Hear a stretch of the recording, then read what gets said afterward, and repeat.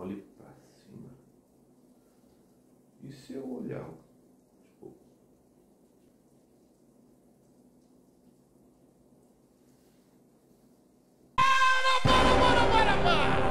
Fala pessoal, tudo bem? Eu sou o professor Luciano Kenji e você está no Cinegel. Você é uma pessoa que acompanha a ciência, que lê ela, está sempre acompanhando os noticiários para saber o que está pegando dentro do ramo de pesquisa? Ou você passou algum nervoso com pessoas que acabavam falando que a ciência não é tudo isso, que isso e aquilo?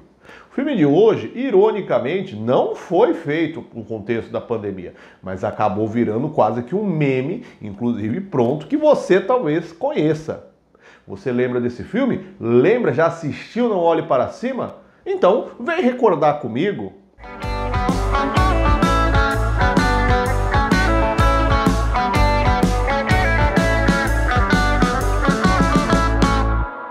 Não Olhe Para Cima, Don't Look Up, filme de 2021 dirigido por Adam McKay, protagonizado por Leonardo DiCaprio e Jennifer Lawrence.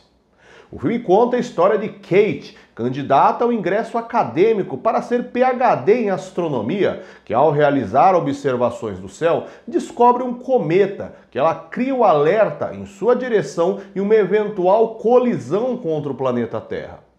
Ela apresenta seus dados ao professor Randall, que confirma seus dados e liga o alerta imediato, pois o cometa tem dimensão entre 5 e 10 quilômetros, tendo potencial de extinguir a vida de todo o planeta. Randall faz um contato com a NASA, que entende a gravidade da descoberta e envia os estudos para a Casa Branca, esperando um retorno do governo dos Estados Unidos sobre estratégias que devem ser tomadas para evitar a extinção da vida na Terra. Mas, ao chegarem no prédio presidencial, eles são recebidos com um certo desdém e a presidenta Jenny diz que irá passar a informação para os órgãos competentes do governo para estudarem mais a fundo, apesar de os cálculos feitos e confirmados já pela NASA indicarem mais de 99% de chance da colisão contra a Terra acontecer.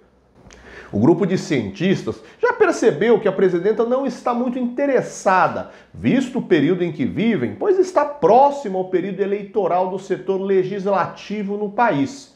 Então Randall consegue um espaço num programa de televisão. Esse programa é mais descolado, no misto de informação com entrevistas. E ele e Kate vão ao programa e apresentam o quadro catastrófico na expectativa de chamar a atenção da população. Mas a ação termina de forma desastrosa. Randall é um acadêmico muito tradicional e sem um linguajar fácil de compreensão mais popular. Portanto, suas palavras são ouvidas, criando apenas a sensação de alguém que é estudado, é inteligente, mas sem se atingir o seu real objetivo.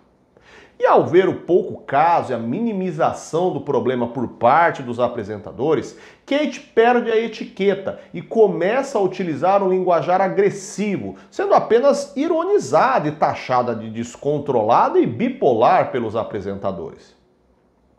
O filme seguirá uma sucessão de situações que fazem críticas diretamente à situação do negacionismo, algo que foi inclusive vivenciado durante o período da pandemia de Covid-19. Faça paralelos com a ideia da postura de governos que negam a dimensão real do problema, a mercantilização de itens de extrema importância em situação vital, como o caso de máscaras ou de álcool em gel, a politização de situações de risco para a população e a exploração fútil e modista destes contextos com criações de hashtags, memes e textos para se propagar opinião visando apenas likes e visualizações.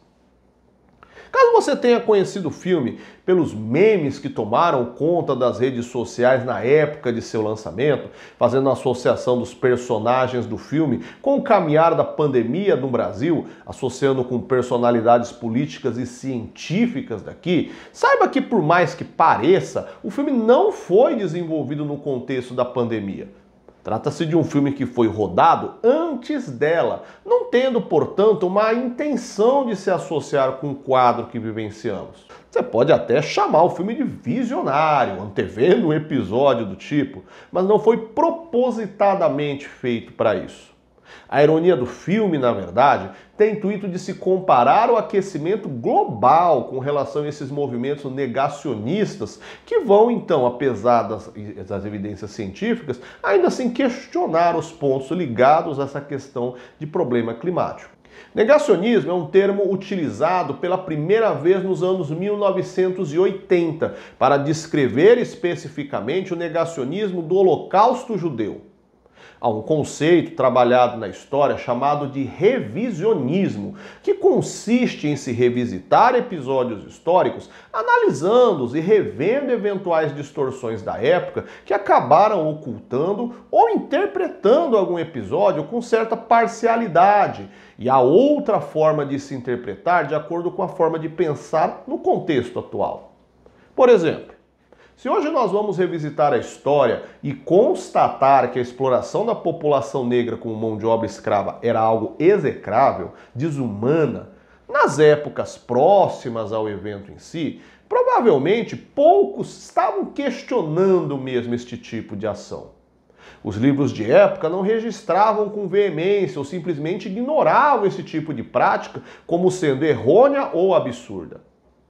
Outro exemplo, talvez você tenha visto algo em repercussão na internet. A Warner Bros. fez um vídeo introdutório para ser transmitido antes do filme E o Vento Levou em seu streaming, a HBO Max, explicando que o filme realizado nos anos 1930 tinha uma visão dos negros que hoje não é mais aceita por conta de seu papel submisso, na qual os personagens negros do filme vivenciam. Porém, o negacionismo foi criado com a crítica de que, no caso do Holocausto, não se trata de uma questão de se mudar a forma de pensar a sociedade e a história, mas são fatos que são distorcidos pelos chamados negacionistas, que afirmam, por exemplo, que o número de judeus mortos foram inflacionados, que as mortes promovidas em câmaras de gás eram mentirosas, mentiras inclusive que seriam promovidas para aumentar o grau de culpabilidade da Alemanha e praticar uma espécie de coitadismo do povo judeu. A diferença em relação ao revisionismo é que há fotos, relatos e confissão de militares nazistas mas que os negacionistas justificam que os sobreviventes inventaram estas histórias por uma questão de ódio revanchista. E os militares nazistas teriam então reforçado estas mentiras para conseguirem se safar no julgamento de forma que fosse menos punitivo. De novo, contra tantos fatos, relatos, registros, não é possível tentar se revisionar estes fatos. E aí o uso do termo negacionismo se propagandeia então como outras situações inusitadas de grupos que tentam relativizar situações com grandes indícios científicos, como o negacionismo da HIV, onde algumas pessoas dizem que AIDS é uma doença inventada midiaticamente para se esconder mortes de pessoas homossexuais que, de acordo com estes movimentos, morriam por sua promiscuidade com relações sexuais com pessoas diversas, contraindo outros tipos de doenças, além do grande uso de tipos diversos de drogas. Com a expansão dos casos de pessoas com AIDS também para o quadro de pessoas heterossexuais, este argumento negacionista começa a cair por terra, mas não duvido que tenham defensores dessas ideias ainda a base dos argumentos negacionistas, contradizem bases científicas de pesquisa, sendo sustentados historicamente por questões de preconceitos pessoais, aspectos religiosos ou apenas para subsidiar pensamentos e opiniões políticas que sejam de seu interesse. E além do negacionismo sobre o aquecimento global, que é a inspiração do filme, movimentos negacionistas que falam de terra plana, como na visão da Idade Média, coincidiu com o seu lançamento durante a pandemia de Covid-19 e o surgimento de grupos negacionistas ao longo da pandemia do coronavírus, formando então movimentos de graus negacionistas diferentes.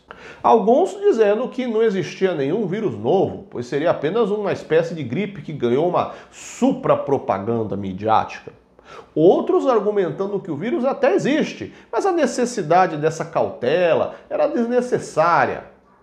Eu, como professor, sempre prego aos meus alunos e alunas que eles devem sim ter autonomia em seus pensamentos, questionar as ideias que são propagandeadas e utilizar de criticidade para suas análises. Mas negacionismo é uma ação que gera, na verdade, um desserviço social.